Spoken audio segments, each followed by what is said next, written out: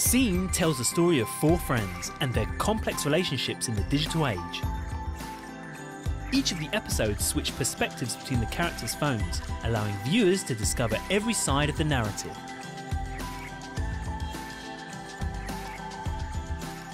The story is triggered in the very first episode when Alex experienced the biggest nightmare of the young generation. He confesses his love and gets a seen. From here on out, we discover the rest of the story, as each seen becomes the cliffhanger for the next episode. The four friends deal with gossip, heartbreak, confusion, but also friendship and love. The series was launched by Coca Cola as a way to strengthen the bond with their key target, teens.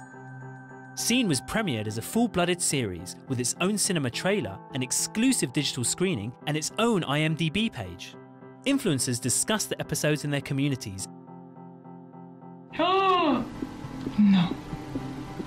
Jij voelt dat and even created spoofs. Seen was live in five European countries and is rolling out in three more over the course of the summer.